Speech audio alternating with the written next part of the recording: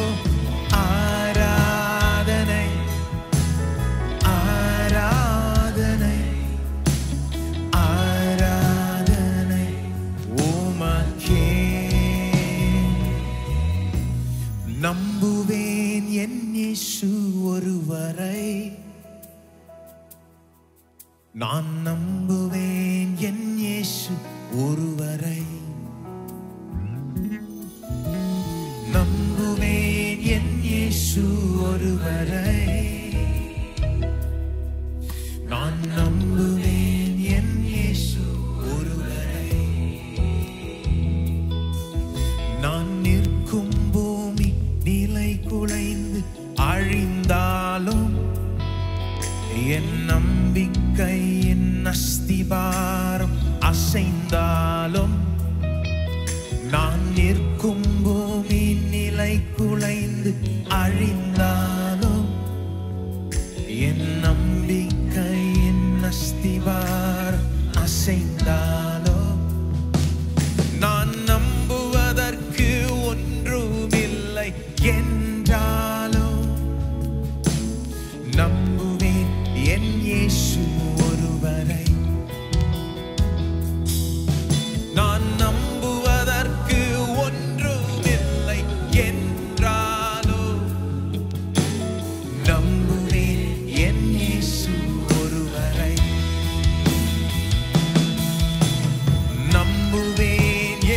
Jesus, what do I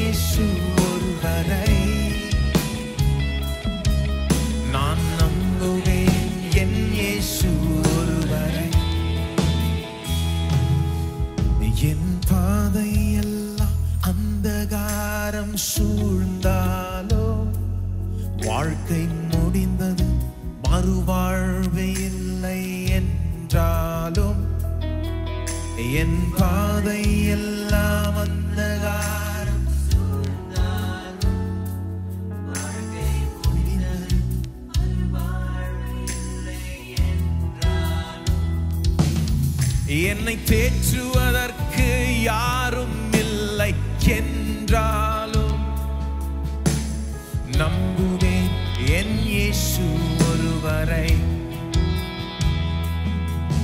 என்னை தேற்றுவதற்கு யாரும் இல்லை என்றால்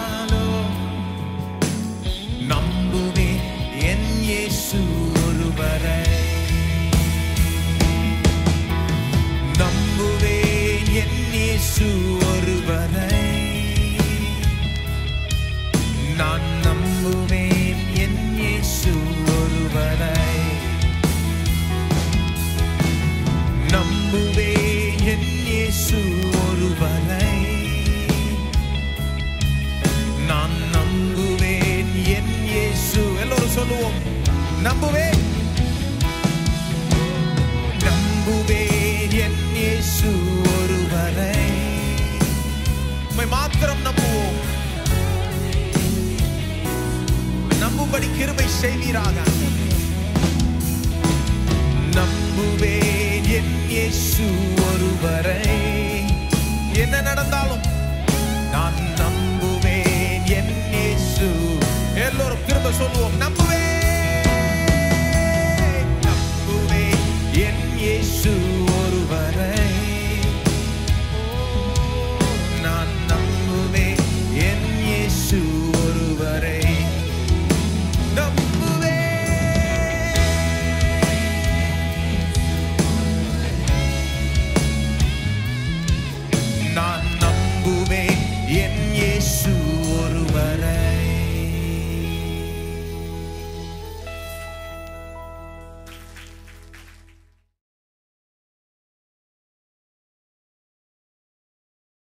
தந்த கட்டில்களில் படுத்துக்கொண்டு தங்கள் மஞ்சங்களின் மேல் சௌக்கியமாய் சயனித்து மந்தையில் உள்ள ஆட்டுக்குட்டிகளையும் மாட்டுத் தொழுவத்தில் உள்ள கன்றுக்குட்டிகளையும் தின்று தம்புரை வாசித்து பாடி தாவிதை போல கீத வாத்தியங்களை தங்களுக்கு உண்டு பண்ணி பெரிய பாத்திரங்களில் மதுபானத்தை குடித்து சிறந்த பரிமள தைலங்களை பூசிக் கொள்கிறார்கள் ஆனாலும் யோசேப்புக்கு நேரிட்ட ஆபத்துக்கு கவலைப்படாமல் போகிறார்கள். ஆகையால் அவர்கள் சிறையிருப்புக்கு போகிறவர்கள் முன்னணியிலே போவார்கள். இப்படியே செல்வமாய் சயனித்தவர்கள் விருந்து கொண்டாடல் நின்று போகும்.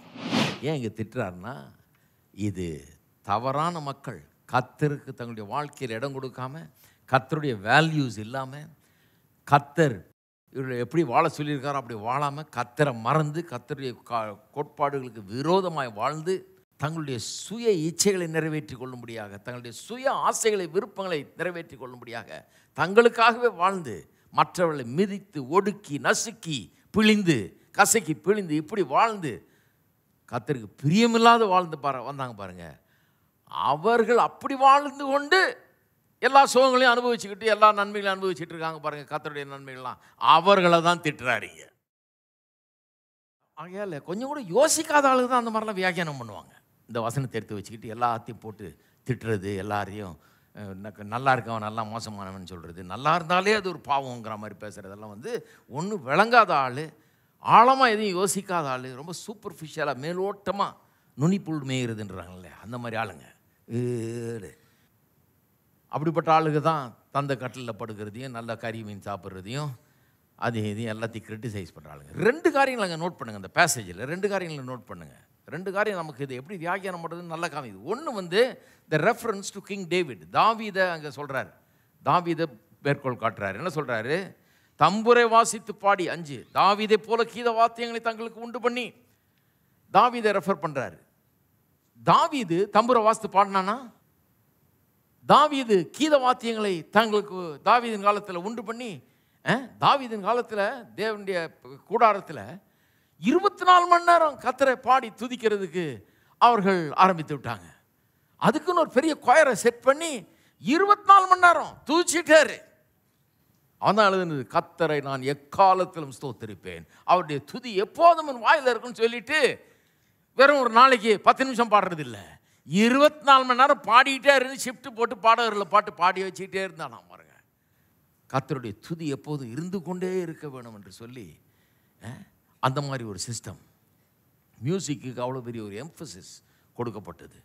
தப்பாது. தம்பூரை வாசித்து கீத வாத்தியங்களை தங்களுக்கு உண்டு பண்ணி அவங்க காலத்தில் அதெல்லாம் உண்டு பண்ணி கிட்டார் வாசிக்கிற மாதிரி அந்த காலத்தில் வாசித்து கீசித்து எல்லாம் பாடி ஒரு அமங்கலம் பண்ணியிருக்கிறாங்க. கத்தரை துதித்து. தப்பான்னு நான் கேட்குறேன் இங்கே சொல்லியிருக்குது. நான் சொல்லுகிறேன் அது உண்மையான மகிழ்ச்சி ட்ரூ டிலைட் நல்ல விதத்தில் தேவனுடைய ஆசீர்வாதங்களை அனுபவிப்பது.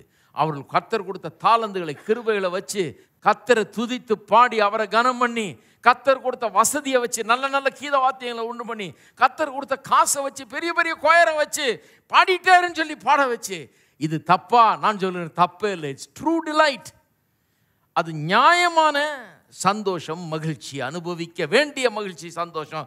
அதை கண்டனம் பண்ணுறாரா இவர்? தம்புரை வாசித்து கீத வாத்தியங்களை உண்டு பண்ணின்னு சொல்லியிருக்கு தாவிது போல.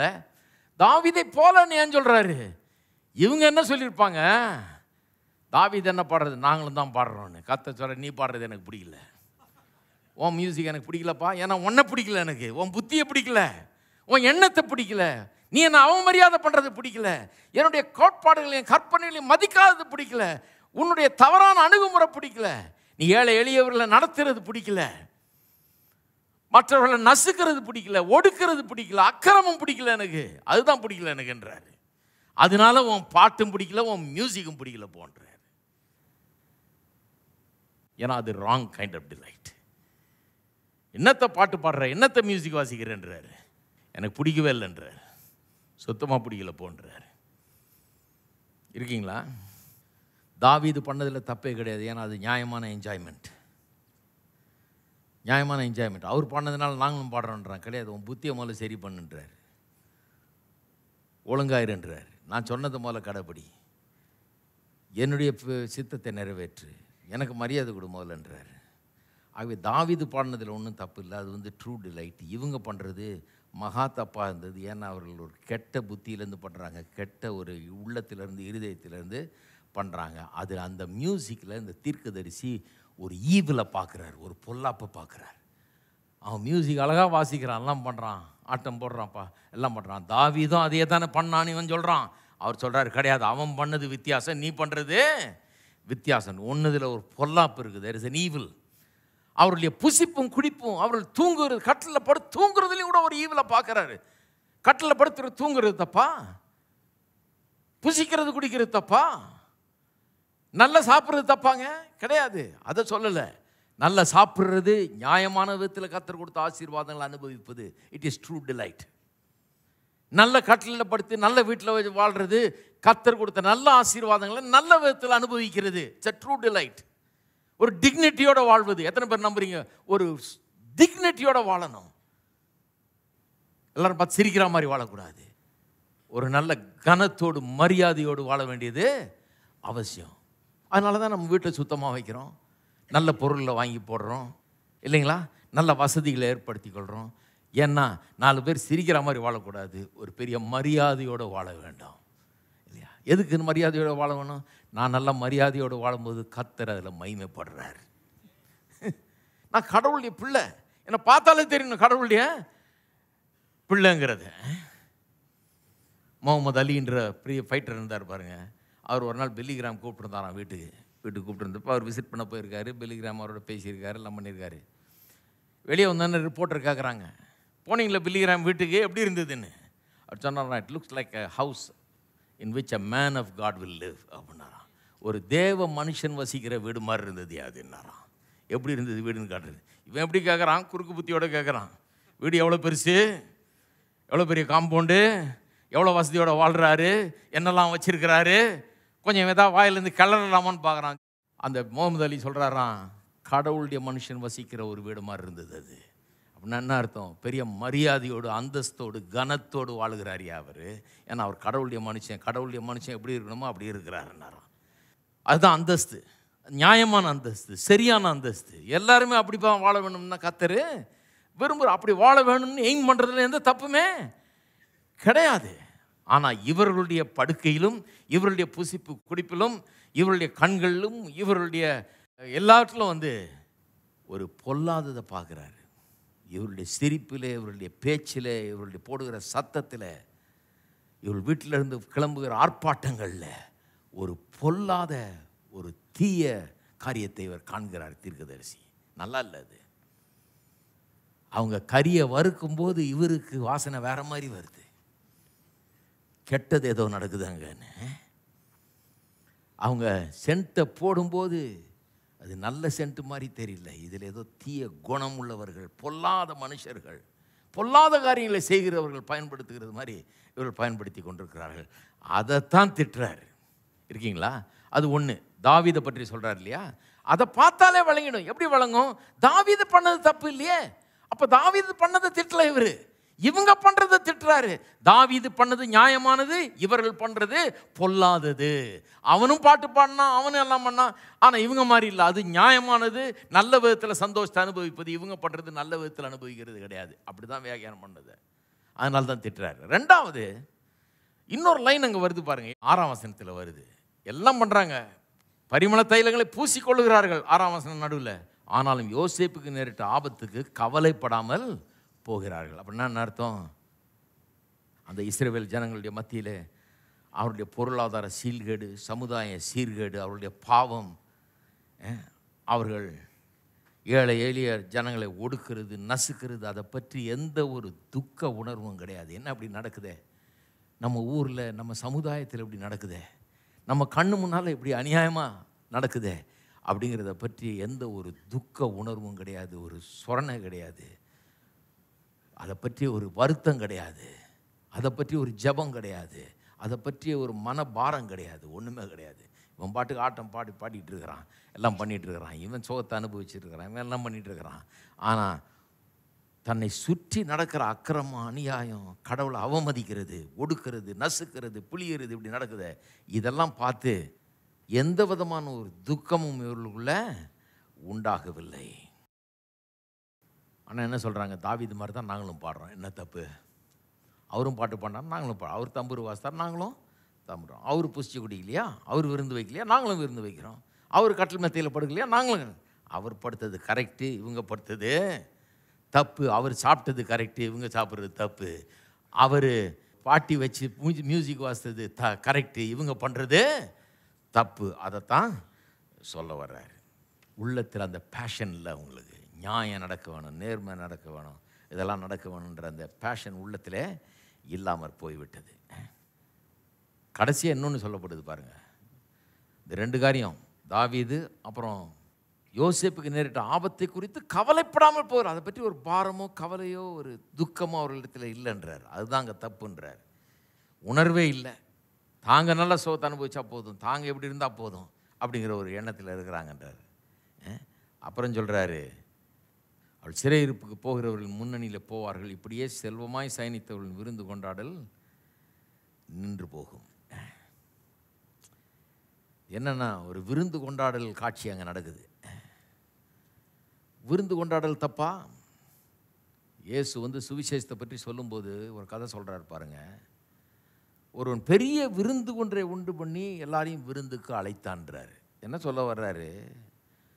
இந்த சுவிசேஷத்தை நம்பும்படி ரட்சிப்பை நம்பும்படி தேவனிடத்தில் வரும்படி அழைக்கிறத சொல்கிறார் விருந்துக்கு வாங்கன்னு அழைச்சாராம் நிறைய பேர் வரலையாம் அழைக்கப்பட்டவரெல்லாம் வரல. கடைசியில் அங்கங்கே நின்னவங்களெல்லாம் கூப்பிட்டு உள்ளே கொண்டாந்தாராம். இப்படி ஒரு கதை சொல்கிறார் நியூ டெஸ்ட்மெண்ட்டில் என்னத்தை பற்றிய கதை? பெரிய பேங்க்வெட் விருந்து உண்ணுகிறத பற்றி ஒரு காட்சி அங்கே சொல்கிறாரு கதையை சொல்கிறாரு அப்போ சுவிசேஷமே எப்படிப்பட்டது?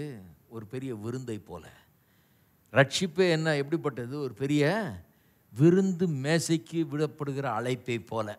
நிறைய பேர் அப்படி அழைப்பு விடுறது பாருங்கள் துறவர வாழ்க்கைக்கு அழைப்பு விடுற மாதிரி விடுறாங்க. சாமியாராக விருப்பமா? அப்படிங்கிற மாதிரி அழைப்பாக இருக்குது இது. அதனால தான் நிறைய பேர் வரமாட்டேங்கிறாங்க. இது பெரிய ஆசீர்வாதத்தின் மேஜைக்கு வாருங்கள். விருந்துண்ண வாருங்கள். கத்தருடைய ஆசீர்வாதத்தை பெற்றுங்கள்னா அப்படி அழைப்பை கொடுக்கறதில்ல பாருங்கள் அப்படி அழைப்பை கொடுக்கறதில்ல. இதனால தான் பாருங்கள் திட்டெல்லாம் உழுது. அப்படிப்பட்டவர்களுக்கு இந்த சரியான விருந்து தப்பு இல்லை. இவர்கள் பண்ணுறது இவர்கள் புசிப்பு குடிக்கிறது இவங்க பண்ணுற காரியங்கள்லாம் சரியானது கிடையாது. இதில் பொல்லாப்பு இருக்கிறது என்று ஆமோஸ் எண்ணி அதனால தான் இவர்களை திட்டிக் கொண்டு இருக்கிறார். இது என்ன மாதிரி பெட்டில் படுக்கணும்? பெட்டில் படுக்கலாமா? இல்லை பாயில் தான் படுக்கணுமான்றதை பற்றி போதனையே கிடையாது. இது கத்தரை கனம் பண்ணுவது கத்தருடைய ஆசீர்வாதங்களை சரியாக அனுபவிப்பது வேர்சஸ் தவறான விதத்தில் அனுபவிப்பது. இந்த ரெண்டுத்தையும் ஒப்பிட்டு தான் இதை வியாகியானம் பண்ணணுமே ஒழிய மற்ற விதத்தில் வியாகியானம் பண்ணவே கூடாது. இன்னும் ஒரே ஒரு காரியத்தை சொல்லிடுறேன். அது மட்டும் இல்லாமல் இந்த இஸ்ரேல் மக்களை கண்டிக்கிறது மட்டும் இல்லை. பக்கத்தில் இருக்கிற தேசங்களெல்லாம் கூட கண்டிக்கிறார். அதனுடைய வசனங்கள்லாம் வாசிக்க முடியாது. பாருங்கள் சிரியா காசா தீரு ஏதோம் அம்மோனியர்கள் இப்படின்னு ஆறு விதமான தேசங்களை கண்டிக்கிறார். ஏன்னா கத்தரே சொல்கிறார் ஒரு இதில் சொல்கிறாரு அவங்களெல்லாம் நான் விடுதலை பண்ணியிருக்கேன். அவங்களெல்லாம் இவங்களை சிறவேல் ஜனங்களை எகிப்தில் அறிவித்தனத்திலேருந்து விடுதலையாக்கி வெளியே கொண்டது போல் கத்தர் மற்றவங்கள ஒன்றும் சும்மா விட்டுறல. அவங்கள கூட எத்தனை தடவை காப்பாற்றி விட்டுருக்கன்றார். அவங்க உடன்படிக்கையின் மக்களாக இல்லைன்னா கூட அவங்கள கூட எத்தனை தடவை காப்பாற்றி அவங்களுக்கு நன்மை செஞ்சுருக்கிறேன் உயிரை காப்பாற்றிருக்கிறேன் அவங்க அடிமைத்தனத்திலேருந்து கூட வெளியே கொண்டு வந்திருக்கிறேன் எல்லாம் பண்ணியிருக்கிறேன்றார். ஹிஸ்ட்ரியில் இன்டர்வியூன் பண்ணி தலையிட்டு சரித்திரத்தில் அவர்களுக்கு நடந்த பொல்லாப்பிலிருந்து அவளை காப்பாற்றியிருக்கிறான் அவருடைய ஒடுக்குதலேருந்து காப்பாற்றிருக்கான்னு சொல்கிறார் இதே புஸ்தகத்தில் நீங்கள் அதெல்லாம் வாசிப்பீங்க அதெல்லாம் பண்ணியிருக்கிறேன்றார். ஆனால் அந்த தேசத்தை சேர்ந்தவர்கள் அவர்கள் வெளியே வந்தோடனே அவங்க எப்படி நசுக்கப்பட்டார்களோ அது போலவே மற்றவர்களையும் நசுக்க ஆரம்பித்தார்கள் ஒடுக்க ஆரம்பித்தார்கள் கசைக்கு புளி ஆரம்பித்தாங்க இவங்களுக்கு என்ன அநியாயம் செய்யப்பட்டதோ அதே அநியாயத்தை மற்றவர்களுக்கு அவர்கள் செஞ்சார்கள்ன்றார். என்ன சொல்கிறாரு இஸ்ரேவேல் மக்களும் சரி சுற்றி உள்ள தேசங்களும் சரி எல்லாருக்கும் என்ன பிரச்சனை? இவரெல்லாம் விடுதலை ஆக்கப்பட்டவர்கள். இஸ்ரேவேல் மக்கள் எகிப்தின் அடிமைத்தனத்திலிருந்து கொண்டுவரப்பட்டவர்கள் இவங்க அநியாயம் பண்ணக்கூடாது. இவங்க இன்னொருத்தனை நசுக்கக்கூடாது புளியக்கூடாது அடிமையாக்கக்கூடாது. ஆனால் ஆக்கிட்டு இருக்கிறாங்க. அதான் கோபம் இருக்கு. ஆக்கிட்டு இருக்கிறாங்க. சொல்கிறாரு நான் உன்னை விடுதலை ஆக்குறேன். நீ இன்னொருத்தனை நசுக்கிறியே. நான் உன்னை மன்னிச்சேன். நான் உன்னை ஆசீர்வச்சேன். நான் உன்னை வெளியே கொண்டு வந்தேன். நீ மற்றவர்களுக்கு அதை செய்ய வேணாமா? உன்னை விடுதலை ஆக்குனதுடைய நோக்கமே. மற்றவர்களை நீ விடுதலை ஆக்க வேணும். உன்னை எம்பவர் பண்ண நோக்கமே. உனக்கு ஒரு நல்ல வாழ்க்கையை கொடுத்தது நோக்கமே. நீ மற்றவர்களுக்கு நல்ல வாழ்க்கையை உண்டு பண்ணி தருகிறவனாக இருக்க வேணும். அதுக்காக அல்லவா நான் உனக்கு நல்ல வாழ்க்கையை கொடுத்தேன்? அப்படிங்கிறாரு. உனக்கு விடுதலையை கொடுத்தேன் சமாதானத்தை கொடுத்தேன் ப்ராஸ்பரிட்டியை கொடுத்தேன் நல் வாழ்வை கொடுத்தேன். ஏன்? இதெல்லாம் நீ ஏங்கி காத்துக்கிட்டு இருந்த கிடைக்காதான்னு. நீ ஏங்கினதையெல்லாம் உனக்கு கொடுத்தேன். ஒரு முழு உலகத்தில் அத்தனை பேரும் ஏங்கிட்டு இருக்கிறாங்க. ஒரு நல்ல வாழ்க்கைக்காக விடுதலைக்காக சமாதானத்துக்காக வாழ்வுக்காக வெற்றிக்காக ஏங்கி கொண்டிருக்கிறாங்க. அவங்களுக்கு அதை கொடுத்தியா நீன்றாரு.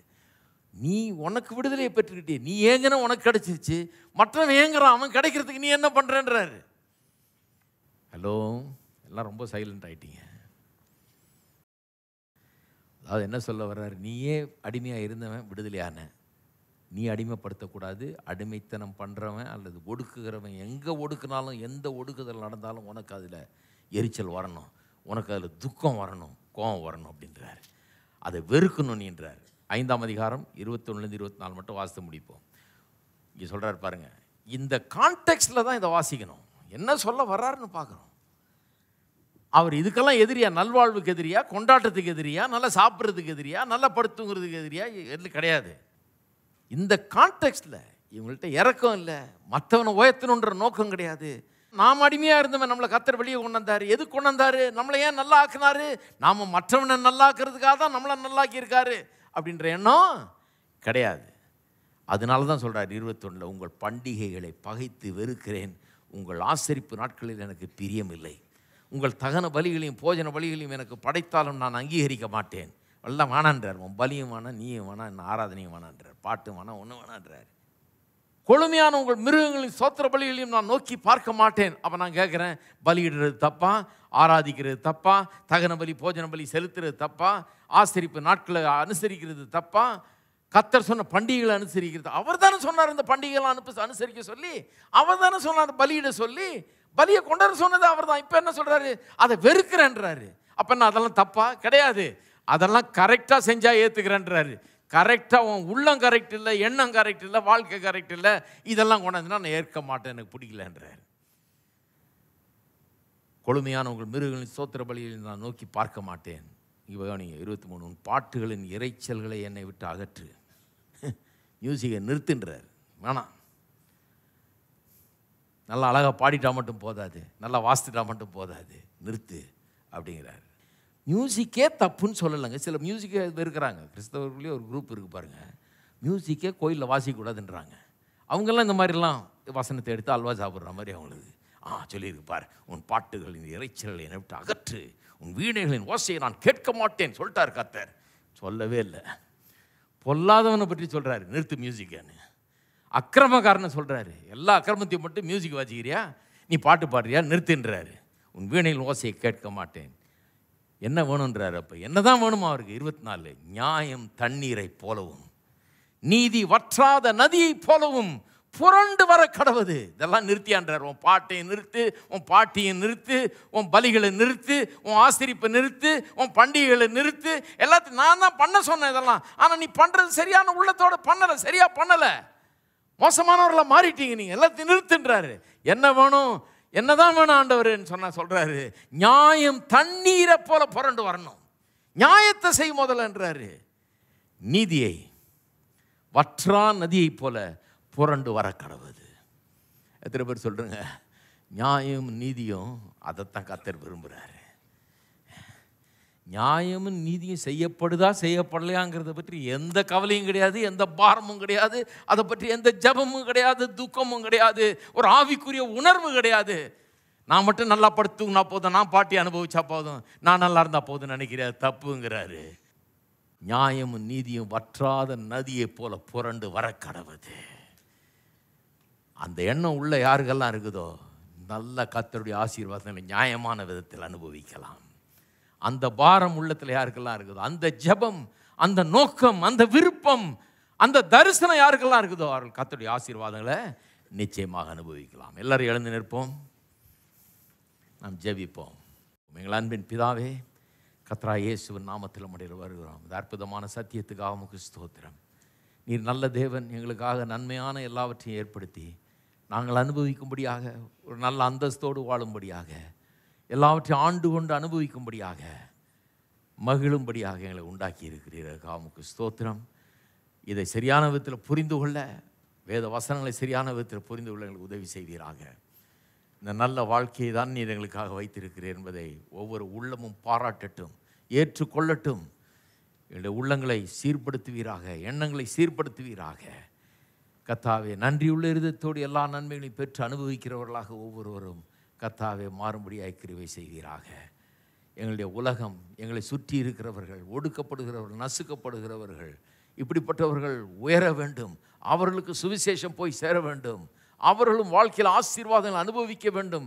நாங்கள் பெற்ற இந்த இன்பத்தையும் நன்மையும் உலகமே பெற வேண்டும் என்கிற ஒரு பெரிய பாரமும் நோக்கமும் உள்ளங்களில் உண்டாயிருக்கட்டும். எங்கள் சுகங்களையும் எங்களுடைய ஆசீர்வாதங்களையும் நாங்கள் அனுபவிக்கும் போது இப்படிப்பட்ட ஒரு பாரத்தை உள்ளத்தில் வைத்தவர்களாய் தரிசனத்தை உள்ளத்தில் வைத்தவர்களாக அதை அனுபவிக்க உம்முடைய நாம மைமைக்காக அதை அனுபவிக்க தேவரீர் உதவி செய்வீராக. ஒவ்வொருவரையும் ஆசீர்வதிப்பீராக. இயேசுவின் நாமத்திலே நாங்கள் செபிக்கிறோம் ஆமே